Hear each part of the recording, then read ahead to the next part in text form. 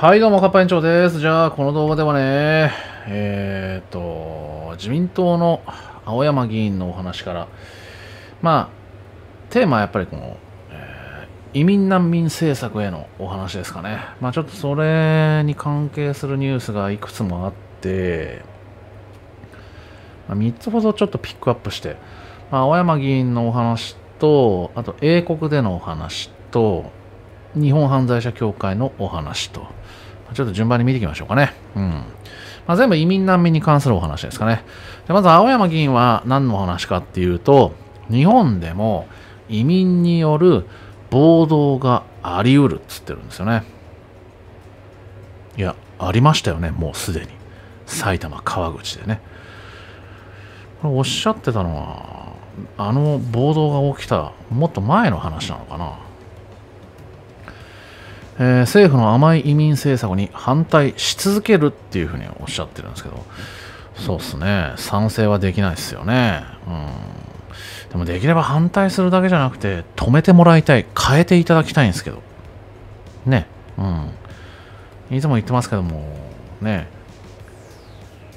言うだけ、言う、言うのはだって僕レベルの、その辺どうにでも素人レベルでも言うだけだったら言えるんで、じゃなくて、ね、それはあの、形にしていただきたいですよね。できればね。てか、ぜひそうしてもらいたい。ね。だってもう暴動起きたんで。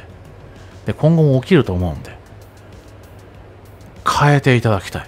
移民難民政策もう180度方向転換して、ね、一切認めないっていうぐらい、別に極端でも何でもないですよね。だって日本社会守るためなんだからさ。当然じゃん。うん。そんな当然のことをまあまずやらないですよね。うん。それが問題なのよ。困っちゃいますよね。でね、そうだなじゃあどっちの話からいこうかな。NHK。NHK は、なんか、これ前もちょこっと取り上げたことあったかな。なんかあの、いや、この不法滞在美化ドラマとでも言いましょうかね。そもそもオーバーステイじゃん。ね有効期限切れてるわけじゃん。ねいてはそこに日本にいる資格がない人をなんかやたら美化して、こんなにもかわいそう。ね入管のせいで幸せが奪われた。ね海外在住のこの人だったらもう国とか地域とか関係なくみんなわかると思いますけどだってビザ取得しないね、オーバーステイでしょ、ね、どの国でも扱いは当然じゃないですか。だから日本はね、狂ってんだよね。そのビザがない外国人を、ね、国外退去、ね、だって不法滞在者なんだから、それは差別じゃなくて区別ですよ。ね、滞在する資格がある人とそうじゃない人を区別するのを、ね、差別だ、非道だみたいなことを言っている、ね、この感覚がもうそもそも狂ってるんで。こんなドラマがね、作られて放送されてるのがもう異常。どんだけ異常なのか。うん。だからもう異常事態だらけですよ。日本国内は。っていうお話ですかね。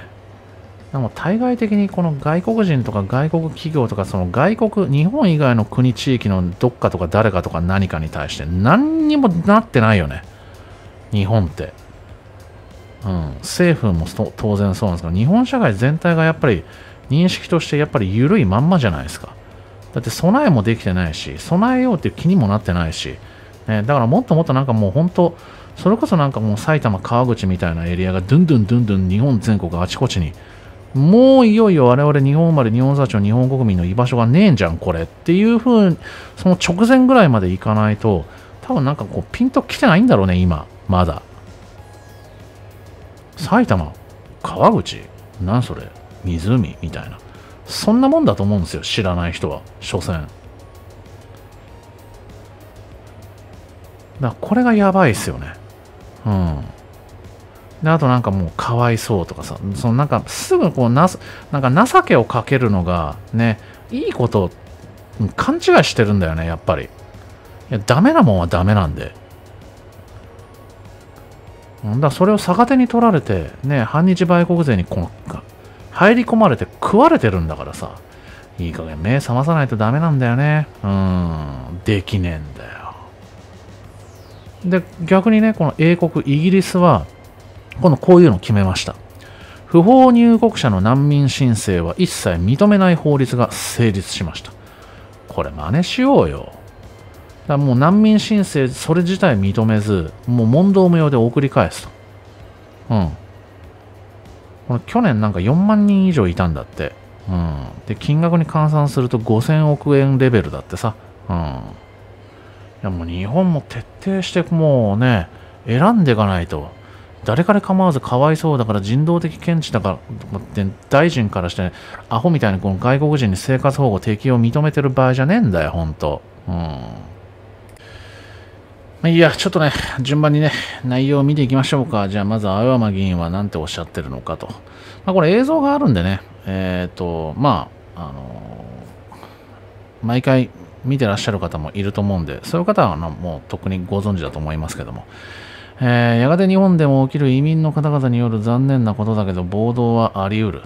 その時にどうやって備えるのか、どうやって日本の良き伝統を守るのか、こんなに甘い政府のが実質的に移民を受け入れることを私はこれからも反対し続けますっていうことなんですよね。うん、まあこれあの、埼玉川口の暴動を見てじゃなくて、このフランスの、うん、フランスの動きを見て、え、た時の、まあ、発言というか映像なんですよね。うん。だからちょっと若干ズレがあるのかな。もう日本でも暴動起きたんで。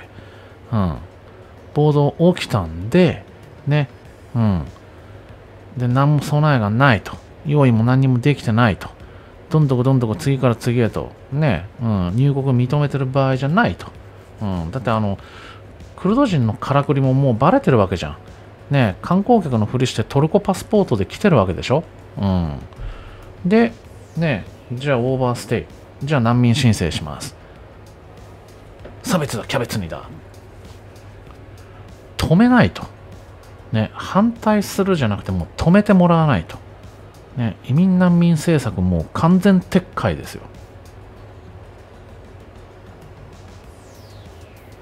なんでやらないんですかね逆に、逆に聞きたいですよね。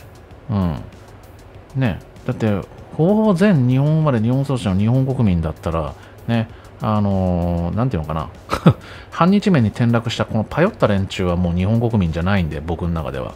そいつら以外、だもうまともな神経の持ち主は、ね、あとはもうつるんで私服肥やす方、金に金に転んだやつとかも除外しますけども、ね、うん、どう考えたって歓迎なんかするわけないじゃないですか。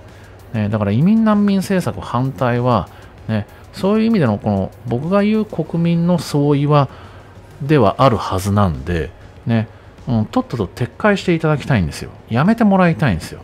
青みたいに次から次へと、ね、このよそから呼び込むのを。うん。だって不法滞在なんだからさ、そもそも犯罪ですよ。ね、ルール破ってんだからさ。うん。でなんでそういう人たちを国外退去、強制退去させるのが、ね、非道でもね、何でもないんですよ。当たり前なんですよ。世界標準ですよ。日本だけですよ、そんなわけのわからん。どうにかして、みたいな。どうにもなんねっつうの。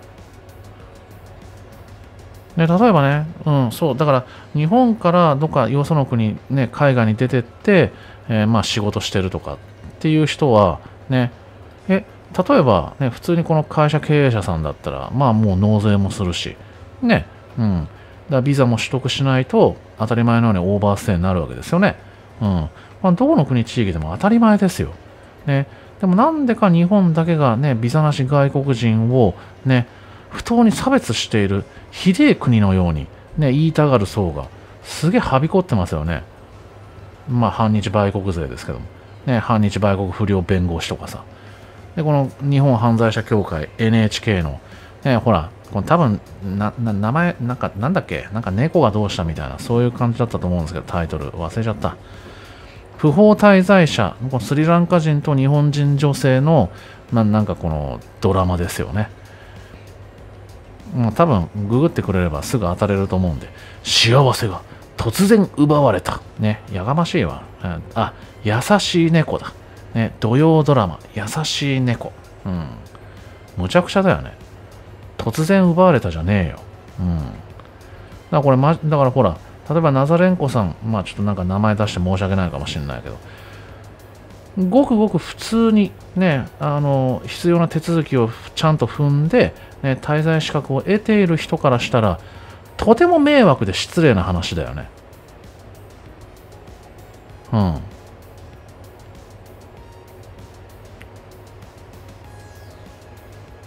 だから、なんていうのかな、ある意味このビザなしで、ね、どこの国でも行ける、ね、えー、要はこの、いやこのパスポートパワーの話とか、あれもなんかある種、あれの弊害かもしんないよね。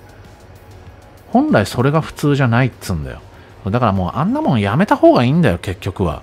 そのお互いにこの優遇、融通聞かすなんていうのは、やめるべきだよ。本来、国境をまたいでよその国、地域に行くっていうのは、ね、うん、めんどくせえのが普通なんだよ。うん。だそこ、やっぱりなんかね、なんかボーダレスとか、この、なんかそういうこのグローバルみたいなのに騙されてると思うんだよね。うん。めんどくせえのが普通なんだよ。ね、国境とかなんかもうただなんか、ね、ただなんかもう子供のいたずらがけてピーってなんかただ線引いて、ね、はい国境とか違うんだよ。意味があるからあるんだよ。うん、だからそこまたいで、ね、よその国に行く、ね、あるいはよその国から来る、ね、うん、移動するっていうのに、ね、うん、あのなんかこの軽く考えて、ね、で、それが普通当たり前だと勘違いしてんだよね。うん、だからこのなんかこのビザなしで、ね、我々日本国民って結構もうものすごい数の国地域に行けちゃうじゃないですか。だそれが当たり前、この錯覚して、ね、だよそから、ね、この日本に来るときも、ね、そうじゃなきゃダメみたいな感じで勘違いしてそうだからそれと比べて、ね、なんで私たち日本人は良くて、ね、他の国の人たちだって同じ人間なのにひどい、かわいそう、多分そういう勘違いなんですよ。うん。だからそんなんだったらもうね、ビザなしでとか全部なくしていいよ。うん。ね、なかなかビザが取れない。ね、で、行ったり来たり、やれよ。うん。そ本来めんどくせえもんが普通なんだよ。って僕は思いますけどね。うん。それでもそのめんどくさいことをね、このね、この書類用意して、ね、手続き踏んで待たされて、ね、うん。それでもやんなきゃいけないことがある人間だけやれよ。うん。で、来いよ。行けよ。うん。ね。なんかのついでに観光のふりして潜り込んでウェーイなんていうのを一切認めんなよ。うん。なこの辺のこの感覚のこのズレを多分もうそろそろいい加減修正した方がいいと思うけど。うん。で、だからそう、なんかその延長じゃないけど、もうこういうところ日本って見習わないんだよな。イギリスは本当、なんていうのかな。なイギリスがすごいとか偉いとかじゃないよね。普通だよね。うん。それ普通のごくごくね、この国をね、政府が責任持って、なんだかわけのわからん得体の知れない輩から守る。うん。ね、国防でしょ？安保だよ。うん。かわいそうじゃねえんだよ。うん。だもう日本政府っていうか日本社会がやっぱりこのこの辺でやっぱ土地狂ったまんまなんだよな。うん。ずれてる。だいぶずれてるよ。うん。